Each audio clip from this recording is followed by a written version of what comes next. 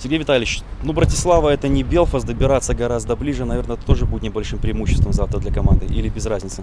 Я думаю, что больше болельщиков приедет, доберется. Вот. Значит, э, больше поддержки будет. Вот. В целом я бы не хотел сравнивать две команды. Я считаю, они обе хороши. То, что ирландцы показали во втором матче. Вот. Но я думаю, что если мы сыграем так же организованно, дисциплинированно, как сыграли э, в Ирландии, то я думаю, что результат будет положительный. Как по-вашему, чем могут удивить нас словаки завтра? Ну, я думаю, у них они будут играть агрессивно, больше на атаку, большое будет давление оказывать именно на защитников. Понятно, что им надо побеждать, и я, поп- я думаю, они попытаются результат сделать в домашнем матче. Понятное дело, то, что вы не любите рассуждать заранее о, о результате, о счете, но тем не менее, что завтра было бы благоприятным для вас, для Минского Динамо? Благоприятно забить и сыграть очень надежно. Я уверен, что у нас моменты будут, реализовать те моменты, которые у нас будут.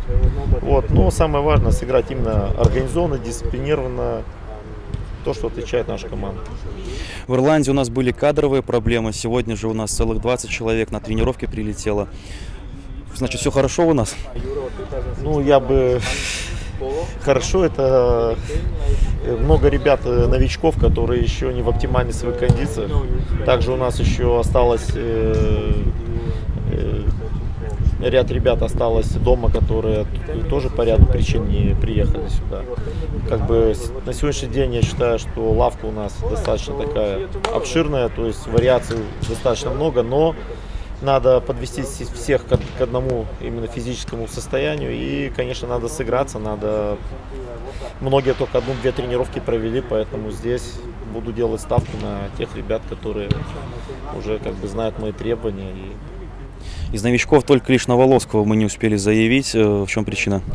Э, Причина в том, что из э, трех кандидатов надо было выбирать двух. Э, Так как Новоловский мало тренировался, то есть он э, еще не готов функционально. Тот же, например, Гаврило еще находится в игровом тонусе, тот же Корзун э, уже давно ведет подготовку к чемпионату, вот, а Новоловский только начинает, поэтому выбор был сделан в пользу этих ребят.